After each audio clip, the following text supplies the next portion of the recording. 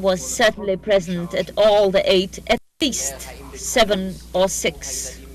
Mr. Valère, did the children leave camp willingly, easily?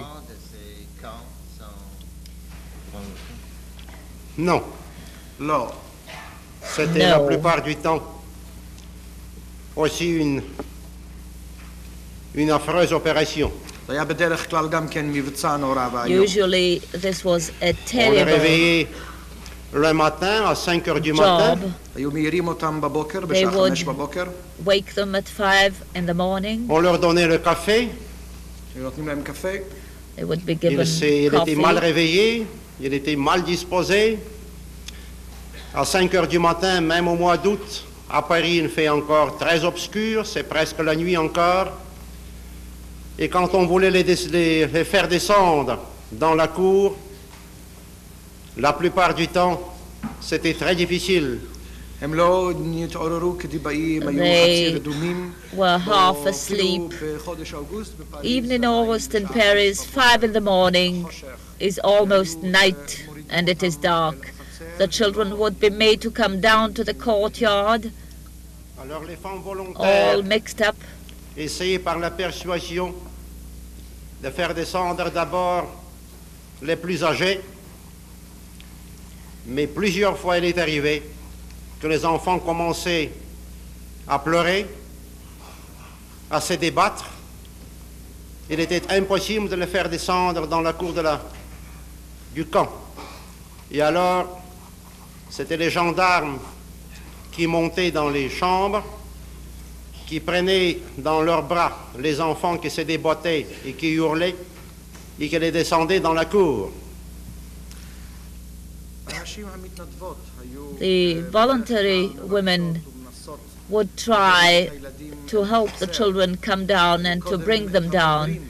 First, the older ones, they would try to persuade them, but they did not always succeed.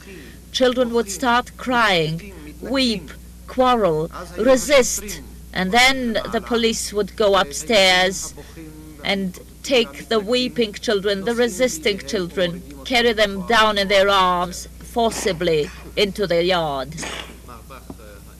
Judge Landau, Mr. Bach, will this testimony be completed before our recess? Mr. Bach, uh, I think I only have one question, and this will be the point where we can make a break. And then we'll speak about uh, the chapter of Alex Brunner who followed Röthke. It's an important chapter. Alois Brunner is the name. The name. Let me just ask you this, Mr. Wellers. In 1944, when you came to Auschwitz, did you then see any one of these children alive?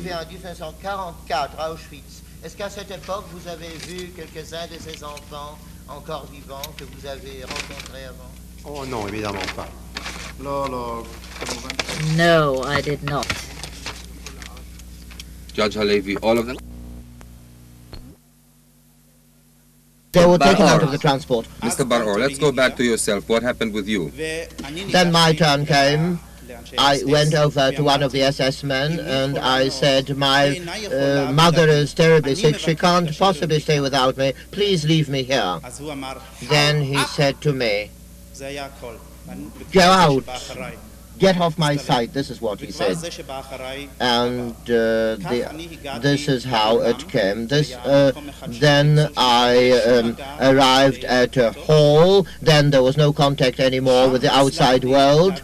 And there I succeeded in bringing a message on a slip of paper to my mother. And I said, Mother, hold out. If you manage to do so, follow me. I'm going to a labor camp. Follow me. I can certainly look after you. Do your best and come. And I know people from Denmark told me that my mother indeed was attached to the next transport. Mr. transport. Baror, when was that? I have never heard about her after the war. Mr. Baror, where were you taken in this transport? I arrived at Auschwitz. How long did you stay there? I stayed there in block number one at the beginning. About 10 days. Mr. Bar-Or, you then left Auschwitz. Yes, correct. Where to? That was still in October of 1944. Yes, it was 1944. October 1944. I was sent to Dachau. And then you stayed in Dachau from October 1944 until the liberation by the Americans? Uh, Then I was staying in some of the camps attached to Dachau because Dachau was the general term. Uh, we arrived in Dachau, but later on we were sent to some of the branches uh, of Mr. Bar- Dachau. Mr. Ansbacher, tell us briefly now about your main impressions from Dachau in Dachau, uh, we were no, we had already passed through a school, as it were. We were in Auschwitz already, and we knew that we had to learn about the situation. How old were you when you reached when Dachau? I arrived at Dachau. I was 17 years old. Mr. Bar-Or, well, you had to learn the situation. What was it? The situ- we had to know where blows are dealt, uh, where one has to stand in order to avoid blows, where the kitchen is, where work is easier. Of course, it took some time. In the meantime, we were being beaten up all the time. And uh, uh, when we went from the train, uh, where we were received by the SS men at night, this was always at night, and we were moving in fog and darkness. Then uh, we saw uh, a group of SS men looming out, and they were reading the Juden go through the Red Sea, the waves close in, and the world is happy, the Jews are drowned. This is what the SS men were singing. It had been translated already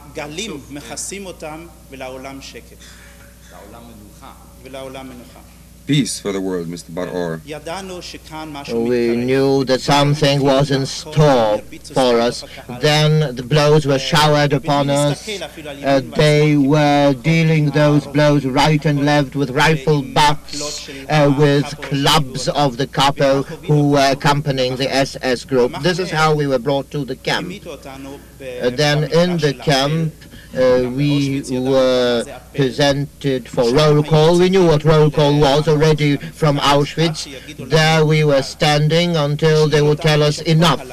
We were left there the whole night. We had to stand there controlled by the Gestapo, uh, supervised by Gestapos and the Gestapo men and the coppers. Everybody was standing stark naked. Uh, we were told that now we had a roll call and uh, uh, it was necessary to know for the SS men what was the condition of everybody concerned. Judge Landau, when was that? It was in November.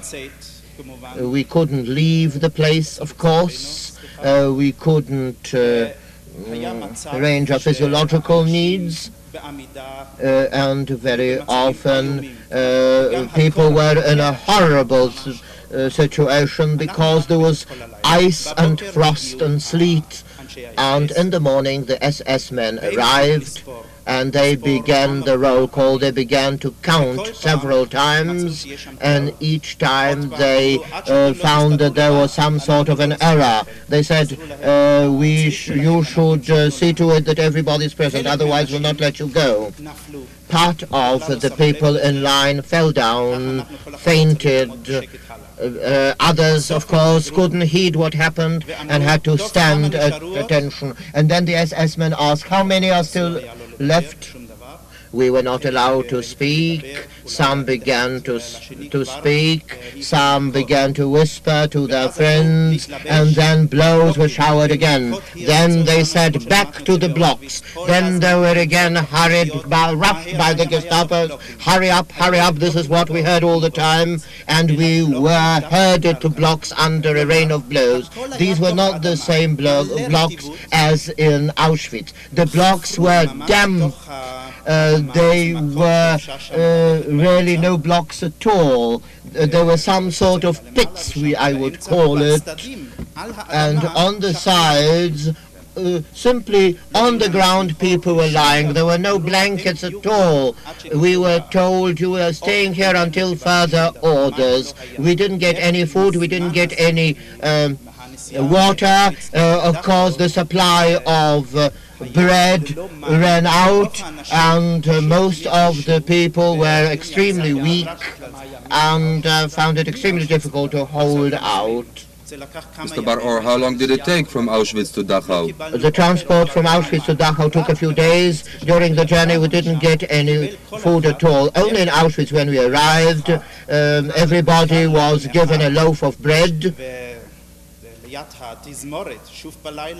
and uh, we were then pushed into cattle trains and at the strains of an orchestra which was accompanying us we entered those ghost trains and uh, it was absolutely impossible to uh, get water. We would just uh, uh, uh, open the windows occasionally and get some drops of the falling grain as water.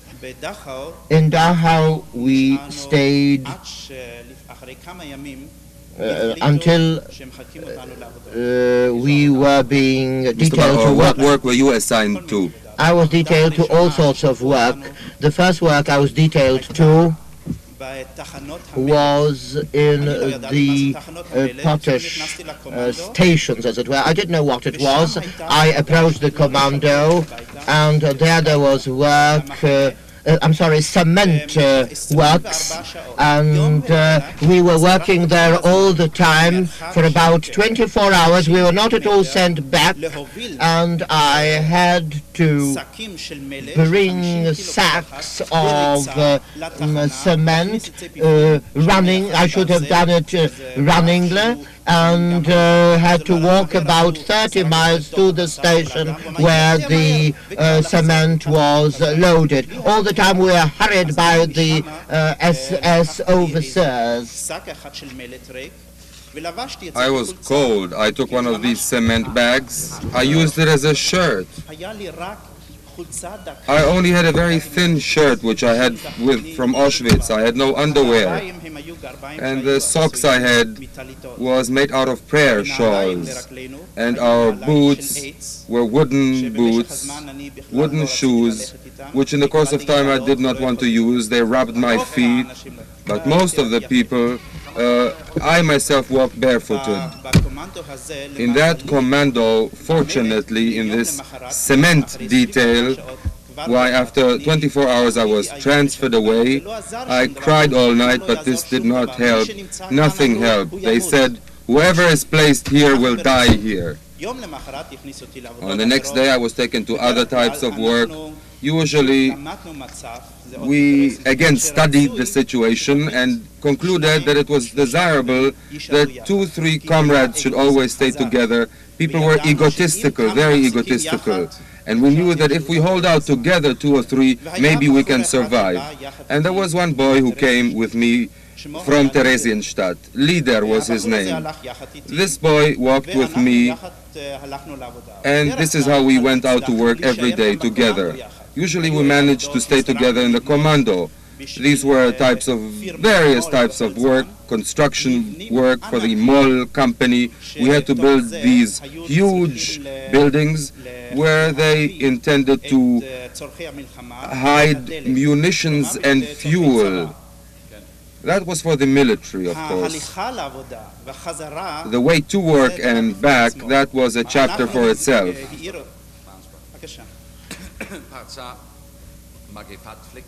Uh, there was a spotted typhus, I understand, which broke up, uh, broke out in the camp. When did it occur? Fleck typhus.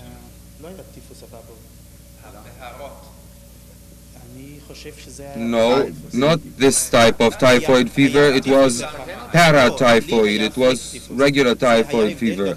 I had that stomach typhoid fever, which I had in Theresienstadt. Uh, this was the typhoid fever. Everybody got it uh, as a result of uh, bed bugs. We looked like animals. Nobody could shave. We were in a situation of complete neglect we were not allowed to wash. Even if there was water, it was so very cold that it was impossible to wash because it would tear the skin apart uh, what was the mortality rate? Witness, the mortality rate was quite considerable. I would say hundreds of people. And the proof was that at the beginning of the, at the entrance to the camp, there was a huge pile of bodies where the totem commando would just pile them one on top of the other. And even before that typhoid epidemic, when the death rate was not so big, they just buried them in mass graves and later they did not even bother to bury the people. They left them on these piles just there outside. I see. And there was a man in the camp whose task it was to extract the gold teeth from the bodies. Could you tell me when did you leave Dachau? I left Dachau. It was shortly before the liberation. Uh, more or less when? הכל על הזוועות הנוראות שבוצעו על ידי הנאצים. מן הנמנע היה שלא ידובר בדברים אלה. Did you speak to Hermann Goering in the course of your investigation? האם דיברת עם הרמן גרינג במשך תקופת I did. חקירותיך? כן, שוחחתי עמו. Did the subject of atrocities Uh, come into the conversation with Goering, and if he did, what did he say? האם נושא הזוועות בשיחותיך עם גרינג, ואם כן, מה אמר? He said that he was not aware that the program of Jewish extermination had reached the reported proportions. הוא אמר שלא היה ידוע לו כי התוכנית להשמדת היהודים הגיעה לממדים אשר נמסר עליהם. And the persons mostly responsible for that program were Hitler, Bormann, Goebbels, Heydrich, and Eichmann. כן אמר שהאנשים הנושאים ברוב האחראיות לעניינים אלה היו היטלר, בורמן, גבלס, היידריש ואיישמן. Didn't he mention? Oh, I yes, uh, Yes, Himmler, of course. Himmler. האם הזכיר? כן, כמובן, את הימלר כמובן.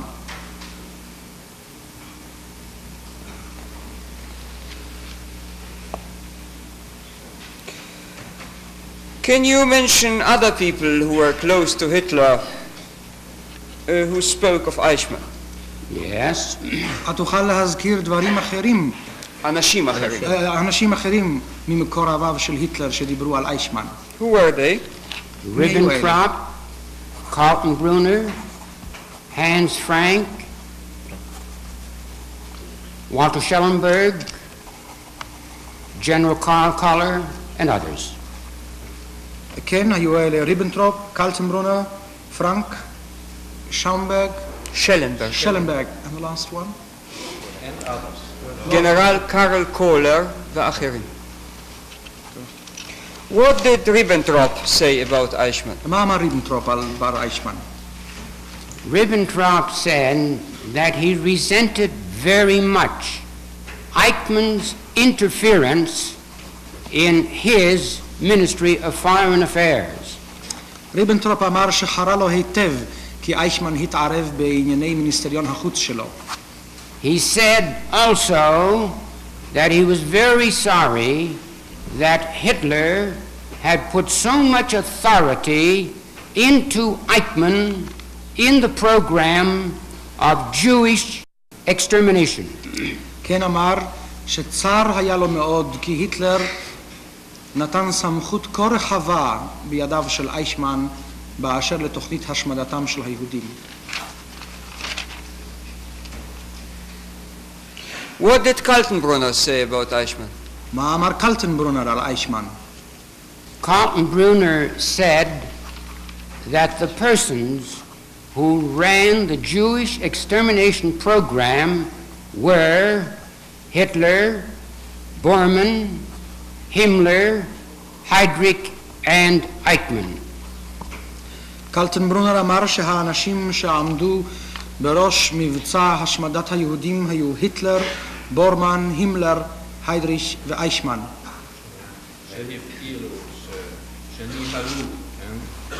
שניהלו את תוכנית ההשמדה של היהודים. What did Hans Frank say on the subject of atrocities? ما Hans Frank al nosei hazvaot? Hans Frank said that during the latter part of the war, he decided to wade in blood no longer.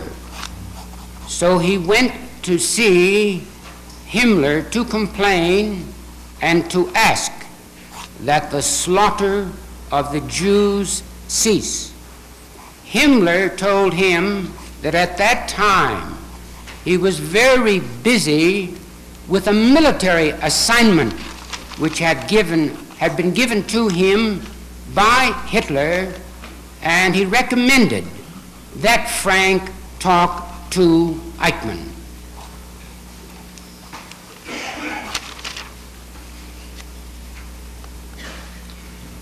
Hans Frank Amar, he. בשלהי מלחמת העולם לא רצה עוד כי ידיו תהיינה מגואלות בדם. הוא פנה אל הימלר והתלונן וביקש לחדול מטבח היהודים. השיב לו הימלר שעסוק הוא מאוד במבצע צבאי שהוטל עליו על ידי היטלר והמליץ בפניו שידבר עם איישמן. According to him, to Frank, did he talk to Eichmann? לפי דבריו של פרנק זה, האם דיבר עם איישמן? כן. Yes. Frank said he talked